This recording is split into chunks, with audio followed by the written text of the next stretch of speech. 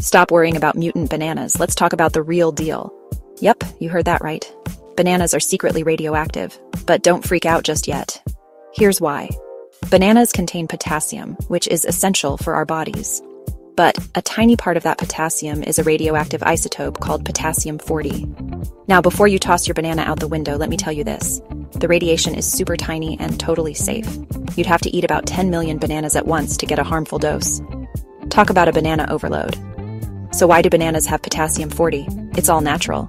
Potassium 40 is just a small part of the potassium found in soils and plants. So, when bananas grow, they absorb it too. It's Mother Nature's quirky way of keeping things balanced. And guess what? Bananas aren't the only ones with a radioactive secret. Foods like potatoes, nuts, and even beer have a bit of radiation too. But don't worry, it's all part of a balanced diet. So next time you munch on a banana, feel like a superhero knowing you're handling a tiny bit of natural radioactivity. Pretty cool, right? What other surprising facts do you want to know? Comment below and let me know. If you enjoyed this video, please like, share, and subscribe to my channel for more exciting videos. Thank you for watching.